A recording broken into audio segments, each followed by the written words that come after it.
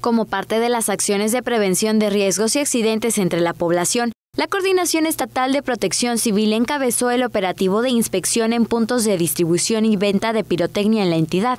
Dicho despliegue involucra a las direcciones de protección civil municipales, la Guardia Nacional y la Secretaría de la Defensa Nacional. Según comentó el titular de Procibe, Enrique Alcocer Basto, el objetivo es evitar cualquier incidente o conflagración por el uso de juegos pirotécnicos. Como parte del arranque de este plan, se visitó los espacios de mayoristas autorizados, tanto en Mérida como en Concal y Mushupip.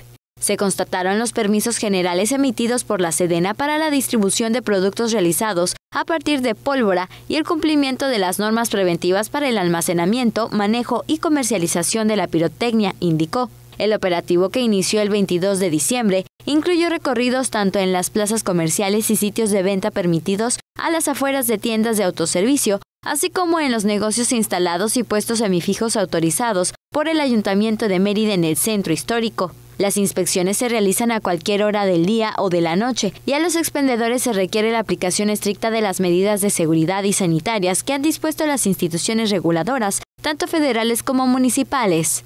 Con imágenes de Efraín Rodríguez, Teleyucatán te informa. Teleyucatán te informa.